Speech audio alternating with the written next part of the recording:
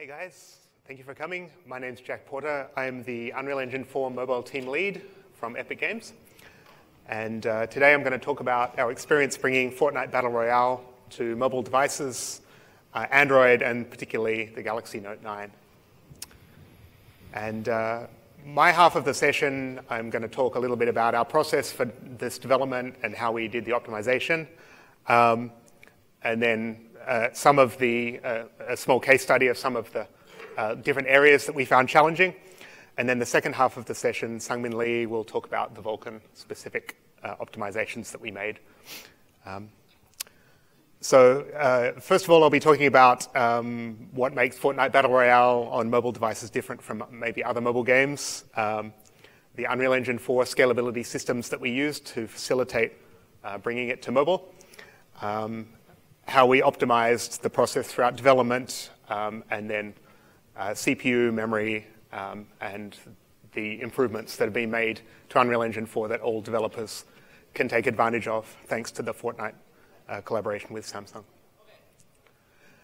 So the important thing about Fortnite Battle Royale on mobile devices is that it's not a normal mobile port. So normally when you make a mobile game or you port an existing game to mobile, um, you have a, some hardware target in mind, a memory target, and then you modify your content until it fits, reduce your draw calls, combine objects until, um, until you have the performance that you want on your target devices. And for a mobile game, um, often the port has maybe a reduced play environment or a smaller number of players.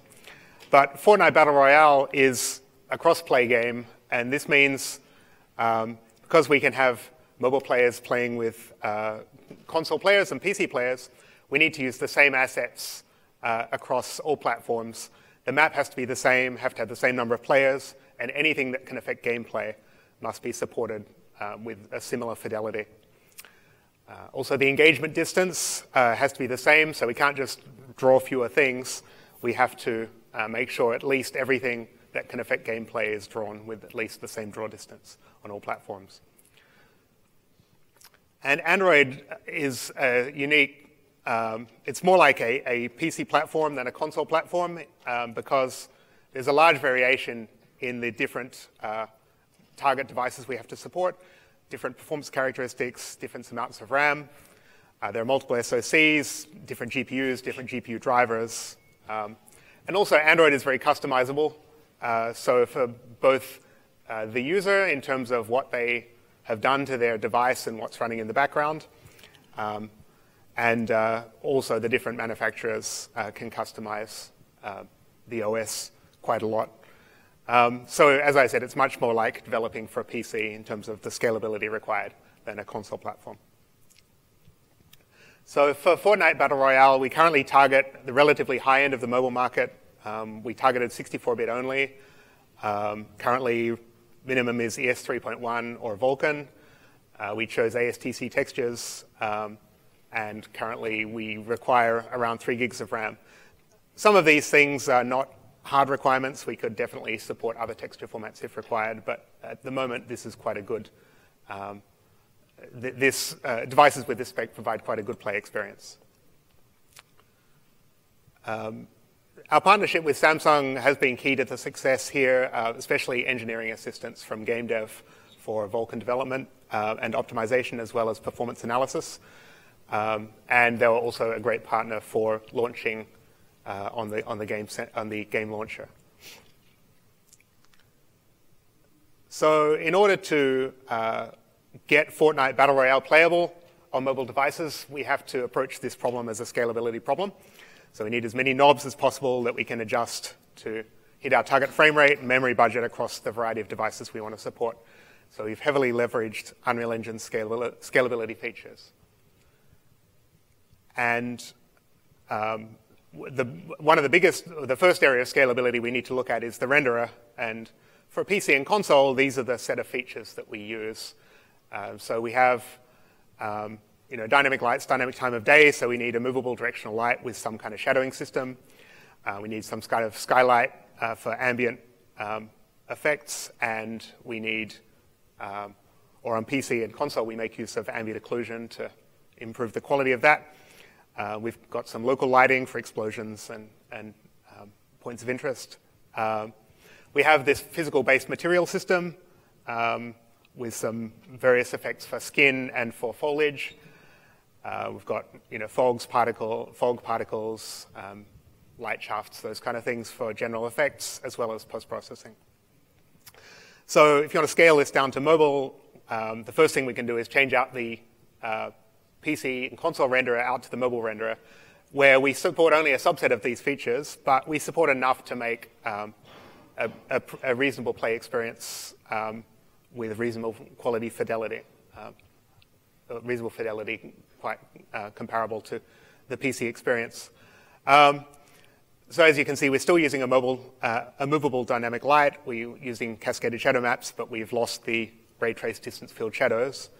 Um, we still have the movable skylight for the time of day, but we don't have the ambient occlusion. We've got local point lights. We have an approximation for the physical uh, uh, material system, the physically based material system. Um, and so with some trade-offs, we, um, uh, we can still provide a, a pretty good uh, quality experience. So Unreal Engine has these things called scalability groups that are intended for any settings that can change at runtime. And um, we, uh, it's just a way of grouping different uh, related settings together into a single number for each quality. So um, we have a number that represents the resolution quality, a number that represents the uh, view distance, as well as the LOD transitions for, our, uh, for the geometry, uh, the texture quality, um, shadows and foliage effects and anti-aliasing all have this single, each have this single number. And these can be overridden per platform. Um, and they are tied to a set of console variables. So, uh, for example, the foliage quality um, uh, is a single number that affects some engine parameters for, for the foliage, such as the density on the grass. Um, but we can also change game-specific settings, such as, um, for example, uh, in the distance, your player has a weapon, whether that weapon is animated or not, um, could be uh, is affected by the, uh, the scalability group. Um, and so on the right-hand side, we're defining what the uh, settings that are applied for foliage quality 0, 1, 2, or 3 are. And uh, on the right-hand side, that's just the Android settings. So uh, compared to console, we have up to 75% of the density of the grass going down all the way to zero for our very lowest end devices. Uh, in the bottom, um, that's setting up the uh, scalability settings for LOD transitions for our characters and for our environment. We have uh, the Android device profile selector, uh, which chooses uh, which profile and therefore which scalability settings to use based on the device. And because there are a large number of Android devices, we can't possibly set an individual profile for each. So we have some rules where we can match based on specific device models for the ones, especially for the Samsung devices where we've heavily optimized each of the devices, um, but also based on GPU model or the version of Android it's running, if we have to work around some driver bugs on some uh, older devices, uh, the version string in the driver, et cetera. Um, and each of uh, the profiles uh, is set up in some config, uh, in a config file which defines um, the console variables to set, including the scalability groups.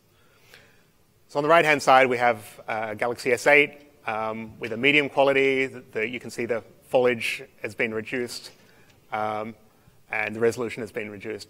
Um, the draw distances have been changed in terms of the LOD transitions.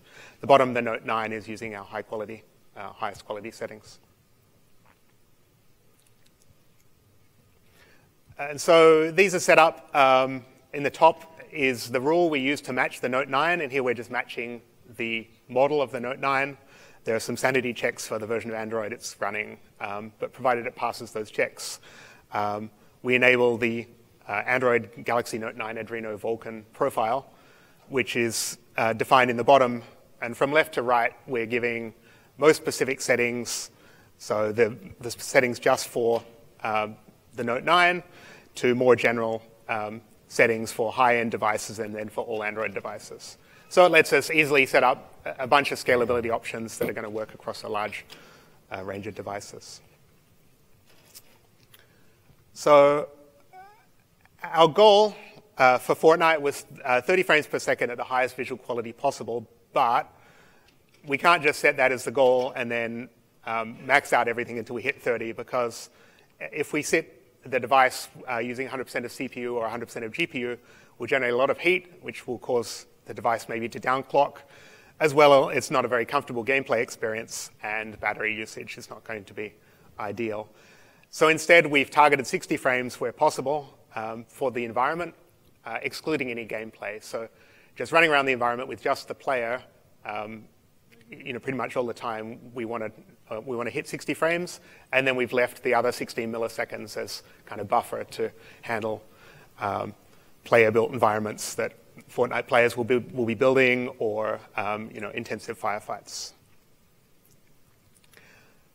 So early on, uh, we created this thing called Profile Go, which was just a script to jump around to the different points of interest in the Fortnite level, run some console commands, dump out some CSVs, and we'd gather some stats. And this allowed us to track uh, the rendering performance at these locations over time as we made um, content changes and, uh, and optimizations. So every day we would compare the deltas to what the previous versions were. Um, but as we went on, um, we found uh, optimizing for gameplay situations was more, became more and more important.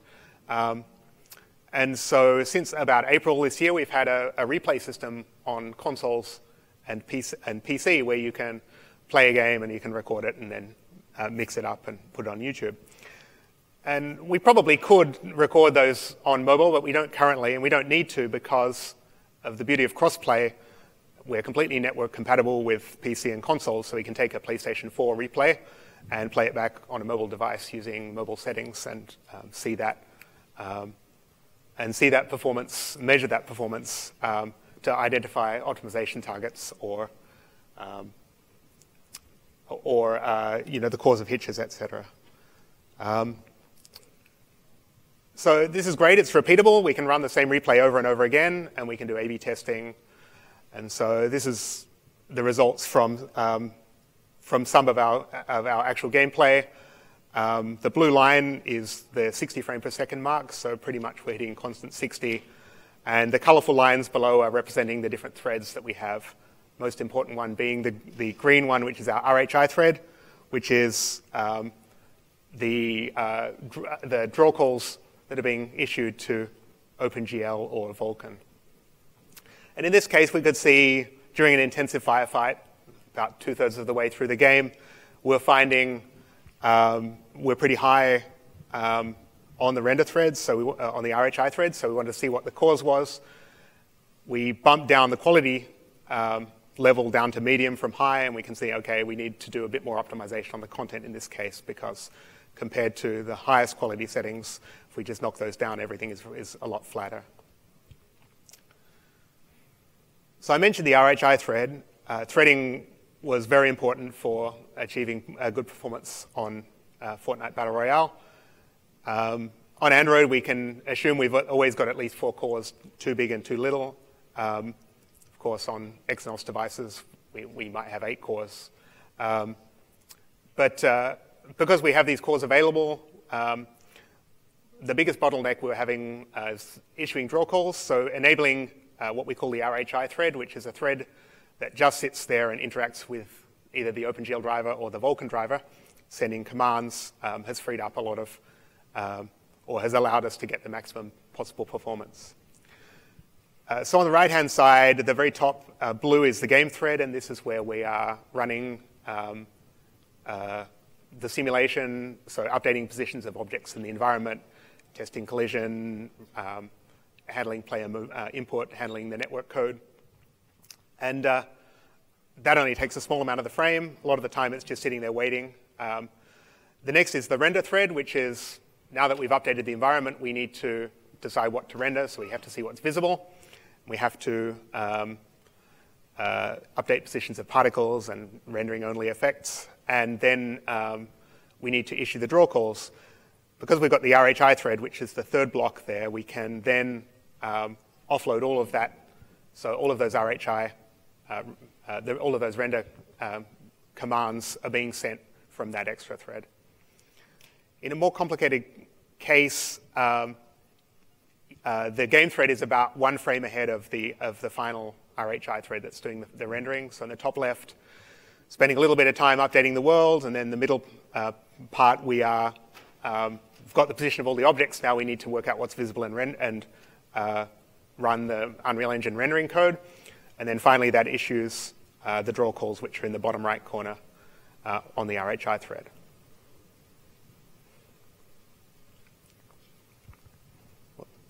Sorry.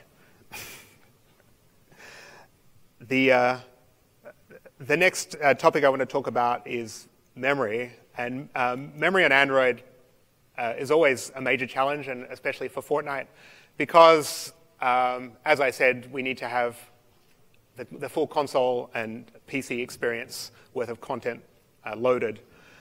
Uh, one of the big challenges about Android is the out-of-memory behavior is not that straightforward.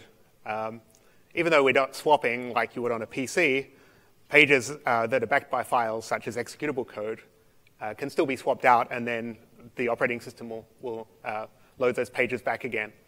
So if we're actually very close to running out of memory, we can suddenly hit a performance cliff where the operating system is continuously um, thrashing, loading executable pages uh, in, and then uh, removing them again as they're not needed. Um, and we see this in practice, um, not so much on Samsung devices, but we have seen that on a, a bunch of popular devices in the wild. So, um, okay, we just need to stay within memory budget if we don't want to run out of memory, but setting a memory budget is also not straightforward. Um, as an example, on a, a Galaxy S8, we uh, made a program that just tried to allocate as much memory, fill that memory, and then wait until we're terminated by the operating system. And on a 4 gig device, we could allocate about 3 gigs, so that was, you know, that seems pretty reasonable. But uh, on a Pixel 2, we could only allocate about 1.8 of its 3.6 gigs of total memory before we were killed by the operating system. Um, measuring memory is also quite difficult the question everybody wants to know is, you know, how much memory am I using and is it more than yesterday? We can use our internal tools, so we track, obviously we track all the allocations we make and the kind of assets we have loaded and all these kind of high-level things using, um, using the internal tools to Unreal Engine. We also have some lower-level tools, such as our low-level memory tracker that kind of tracks every allocation the game makes.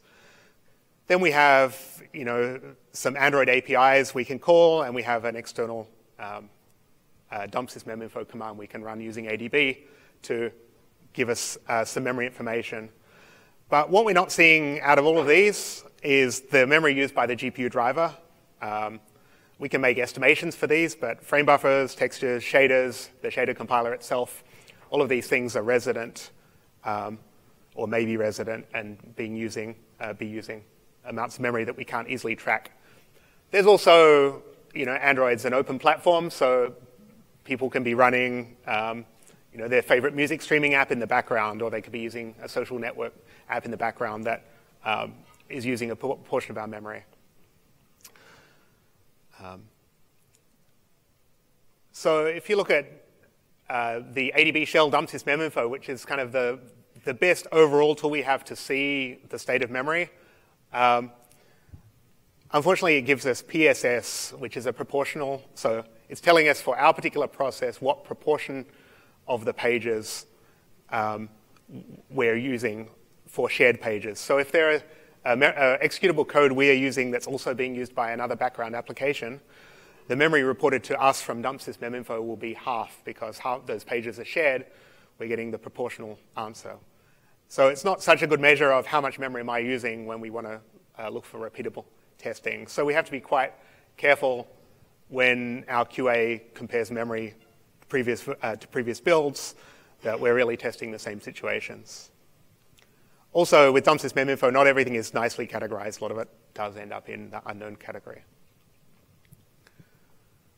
So um, a step back from memory for a second, we'll come back to it, but one of the biggest um, memory uh, um, uh, challenges we had was due to the amount of shaders that our artists create. And in Unreal Engine 4, if you want to create a shader, um, it's just using an artist-driven tool, connecting um, you know, visual boxes together to make beautiful shaders. And our artists like to do this a lot. Um, we have over uh, 2,000 individual combinations of, um, shader programs with pixel and vertex shaders, and um, these are all generating unique GLSL code behind the scenes. So we need this uh, shader, we need these shaders ready to, to render, right? Um, but unfortunately, OpenGL doesn't have a, a standard precompiled shader format. Each device has to compile its shaders from source code, and uh, the shader compiler is not particularly fast at runtime. Um, on Vulkan, we need to have a pipeline saved. and it's a similar problem. And we want to avoid hitches, so we uh, use what we call our PSO cache system, which is during development and playtesting, we're recording the shaders we use to render the game and then storing that list of, of PSOs um, uh, that we rendered with, and at runtime, um, at startup, we would compile those shaders. Well, that's all well and good, but even compiling, because we have so many shaders, um, uh, that, that, even that takes about two minutes, and which is too long. So our solution is to compile once and save the binaries out. Um, either for OpenGL, we use this uh, extension. Um, that's what's happening when you see the optimizing content screen in Fortnite. Um, subsequent launches, we can quickly load uh, those back again in about 10 seconds. So it's done in parallel to the rest of the loading. For Vulkan, we save the, the pipeline cache um, in a similar way at the same time. But shaders are managed by the driver, uh, and we can't exactly measure how much memory they're taking up. And so we can look at the binaries on disk, and for those 2,000 shaders, the total shader size was about 40 megabytes. It's not great, but it's okay. But we then measured that that was uh, turning into about 250 meg of allocations in the driver. And it's understandable because the driver has to manage different permutations for different state. Um, and uh, when we're using actual uniform buffers, that was uh, increasing the permutations the, um, the driver was needing to create and store up to about 400 meg. Um, and so our solution to this was to use uh, what we call the LRU cache. This is a, a cache we have for shaders where we uh, create shaders just in time from the binary representations and then destroy them when they're no longer needed. And that 40 meg of data compresses quite well, just down to 10 meg, and we um, can stream or we can create and destroy those shaders just in time as they're needed. And overall, that saved us about 200 megabytes on some devices. Um, so this is from an S8. Um, it's just under 200 meg was saved in this case. The LRU cache is pretty good. It's, it's really necessary um, to save memory and uh, to keep the shaders in check uh, for Adreno and Mali devices. But we do see some extra hitching uh, from the shader reconstruction. Um, this is without the LRU cache. If I enable the LRU cache, uh, there's a little bit of extra uh, time, especially on the RHI thread. Um, but it's, um, it's necessary, and we've been able to, to focus, um, especially given the extra latency we have between the rendering thread and the RHI thread, we've been able to, um, to reduce that hitching as much as possible. So um, we've done a lot of work to optimize, and with Samsung's help uh, as well, to optimize UE4 for Fortnite, and uh, all of these improvements have been made available to all of our licensees. So there's a bunch of scalability improvements for the way we can scale um, assets um, on a per platform basis, which we didn't used to have. Um, there's a bunch of very general uh, memory and performance improvements for, for many of the systems in Unreal Engine.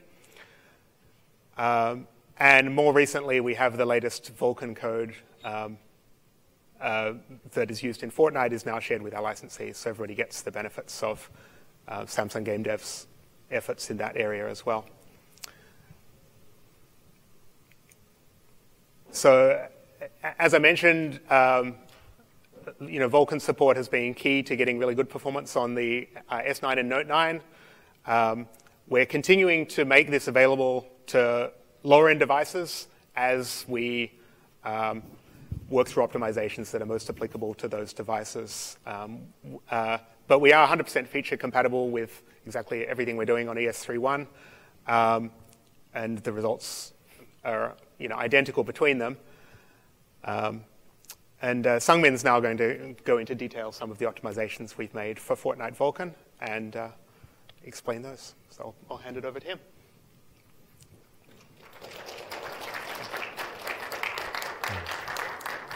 Thank you, Jack, for introducing me. And I'm Sangmin from Samsung Game Dev team. And Samsung Game Dev is supporting the many bunch of guys who are working for game studios and game engine developers for optimizing the mobile games. So in this time, we cooperate with Epic Games for the Fortnite, the, world, the popular game in the world. And we are more focused on the optimizing the Vulkan API. So I want to tell about the advantage of the Vulkan briefly. Uh, actually, the Vulkan is the next generation graphics API, so it is lightweight and it is explicit comparing than GL. So it has more possibility to optimize for the high fidelity games. And as it is lightweight, uh, it can reduce the CPU load. So if there's uh, many draw calls, we can removing the, uh, we can remove the bottlenecks on the CPU side, and we can use that budget of power to improve GPU jobs. So here's the real example. Uh, this game is Lineage 2 Revolution, and you can see that the on GL version, the average FPS around the 28, but Vulkan shows over 43, so almost 50% uh, performance is improved. So that's why we more focus on the Vulkan and want to spread out to other mobile games. So what about the Fortnite? Uh, have you ever played the Fortnite before? So uh, actually, as you know, the Fortnite has a tremendous object draw, like buildings, foliage trees, or items, and so on. So like in this video, uh, the, you can see that draw call is around the about 100, uh, 1,500, and sometimes it go over two or 3,000. So it is a really huge number on mobile environment. So handling this whole object is really burden on the CPU side, which block the GPU power. So the previous advantage of the Vulkan can improve the performance, but unfortunately, just adapting the Vulkan directly is not the solution in, because there's some still bottlenecks or optimization points on impl uh, existing implementation of uh, Vulkan rendering hierarchy interface of Unreal Engine. So here's uh, our the Fortnite behind story, what Samsung Game Dev and Epic Games uh, cooperated and have implemented, optimized the performance and memory side as well. In performance side, we have uh, three impact items, optimizing render passes, removing staging buffer, and optimizing the query management. Samsung Game Dev have emphasized the importance of render passes and render, uh, pipeline barrier. So uh, the changing render passes really frequently uh, gives a huge impact on the performance and especially uh, begin the render pass with road operation and end with uh, store operation is really costly on memory bandwidth perspective. So the early implementation phase of the Fortnite has many render pass transition like in the first column of the pictures for drawing the, some shadows and some unneeded render passes just interrupted. So we optimize them like merging and pending the render passes at, to not to be interrupted. And the second column of the picture shows the result, and we capture that with the Mali graphics debugger. And then you can see the fragment job is reduced and more detailed in, the, in this table the time for rendering one frame is reduced about uh, 30 milliseconds, and the frame job is reduced about 90%. So this is why we always saying the importance of the render passes. And the second one is about the removing staging buffer. And if you copy the CPU data to GPU with the Vulkan, you need allocating the staging buffer and copy the data to there. And then uh, copy that staging data to GPU again. So a little bit complicated process. But actually, in mobile environment has the unified memory. So this means you can use a common buffer for, for CPU and GPU. So you can allocating the common buffer with the host visible and coherent flags. So we suggest this to Unreal Engine, and we, now we save the time for allocating or releasing the staging buffer and the double, double copy things. So we check this on the loading time of the Fortnite, and with the staging buffer, it takes about 160 milliseconds for uh, average, but after removing the staging buffer, it reduced under the 0.02 milliseconds. So we it's a really huge difference, and we reduce the loading time also, and the FPS stability on the run, running while running the game is really improved. And the last one is about the query management. Fortnite using the occlusion query for the calling, so it needs a manager for the queries. So previous version of the Unreal engine using the global query pool, and in there, a lot of the queries and some of the queries already occupied by other frames. And if the engine needs some like certain queries uh, in some of the frame, the Vulkan allocated uh, the, the queries index. And then after that frame, if the engine needs the results, Vulkan need to call the VK get query results 13 times. After this, this process, the engine need to reset them to reusing the queries. So in that time, also Vulkan need to set, uh, call VK reset query pool 13 times also. So these duplicated uh, function calls makes a huge bottleneck on CPU side. So, but good thing is that those two API can handle multiple queries in one, one call. So we decide to change the managing logic like uh, dedicate, uh, allocating dedicated query pool per each frame, not using the global one.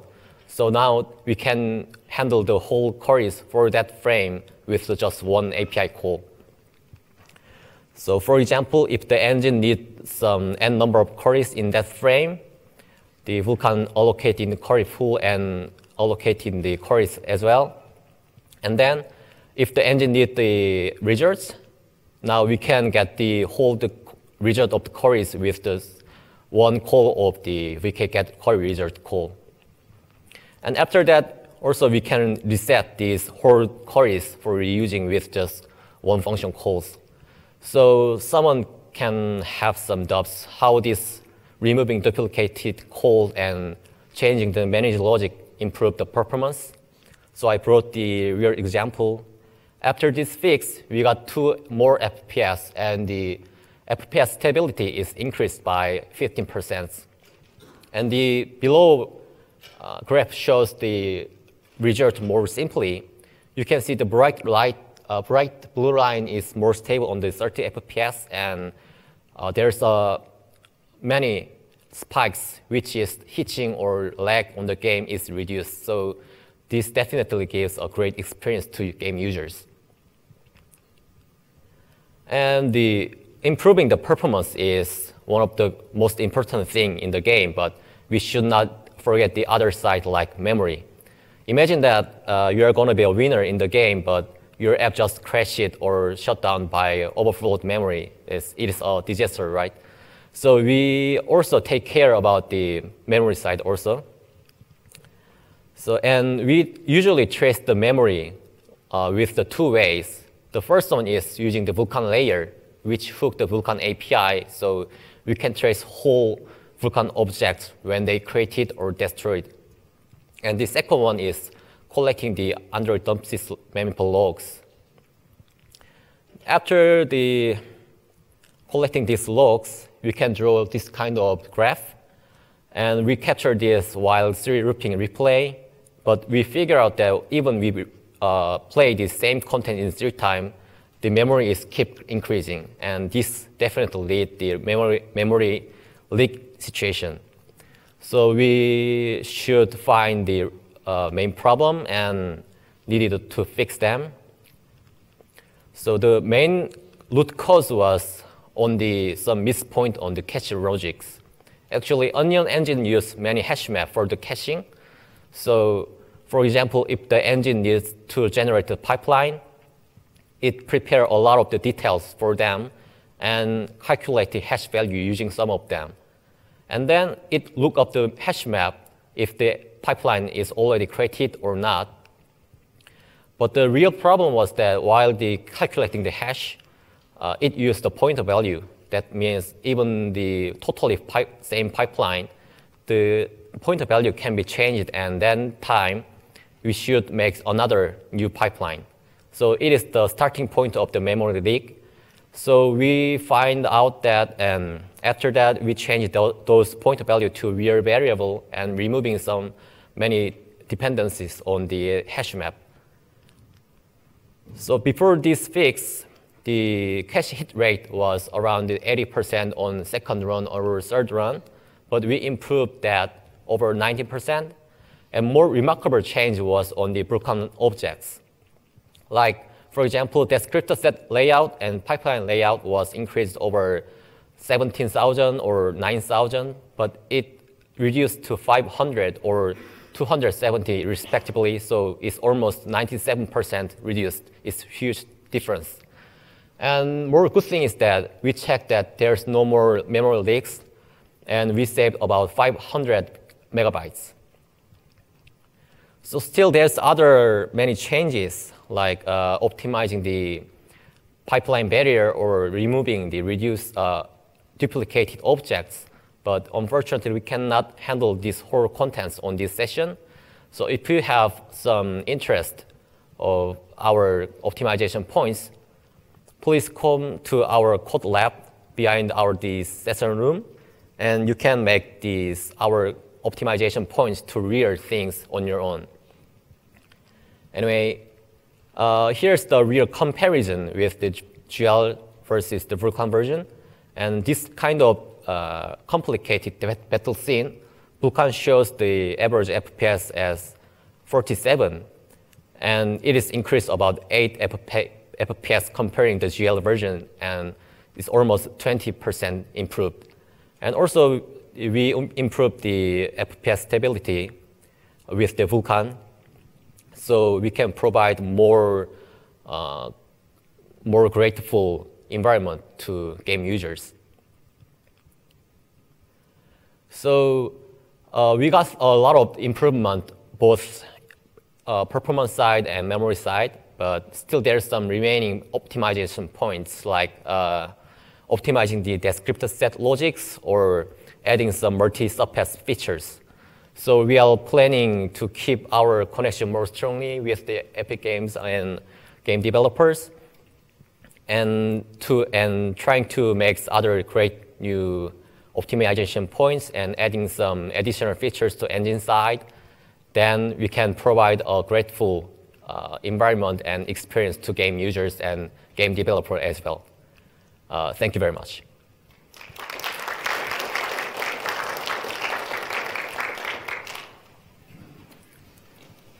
Thank you, Sangmin. Yeah. yeah. If, if there are any questions, um, you know, feel free to ask now, or you can also come and find us outside as well if you're too shy to ask now.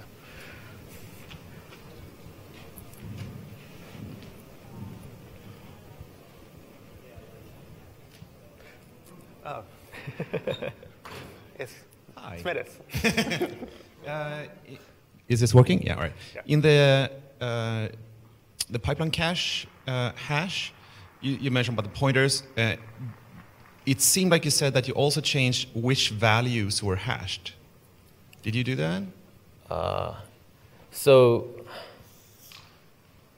I was, what I was thinking of uh, when I heard that was like, oh, some of the states in the pipeline cache actually doesn't matter so much versus.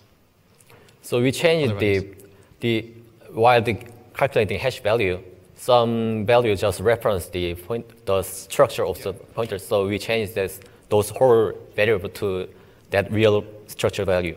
But so, yeah. we, we, hash the entire structure, right? We, yeah. we it is all the it so, is all the values. So we don't attempt to work out what parts yeah, of uh-huh. the, the hash are not uh, okay. not uh-huh. so important. We do not we do not do that implementation. It's a good idea though.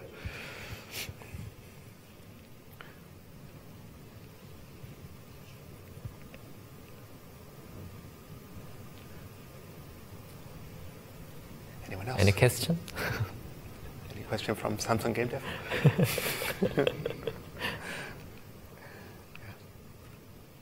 yeah. Okay. Thank so you for. Yeah. You have to go to the next slide. Mm -hmm. Yeah. Yeah. So yeah, please rate the sessions and win prizes.